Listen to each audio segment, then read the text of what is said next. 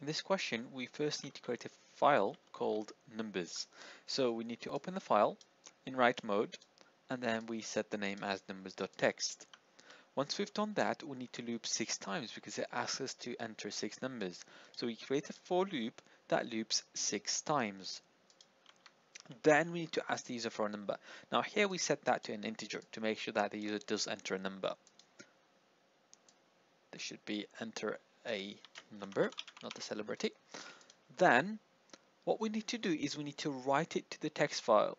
Now file.write will write that to the text file.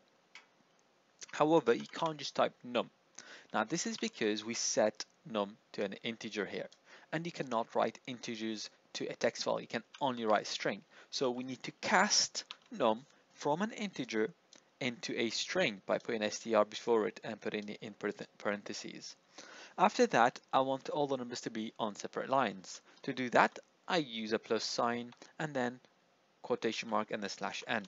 This will allow me to put each number on separate line.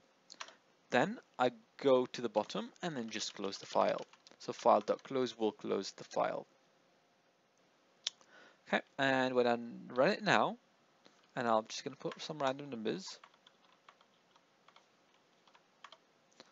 I'll close that and then go back to the text file and I can see that here I've got all of the numbers in my text file in a file called numbers.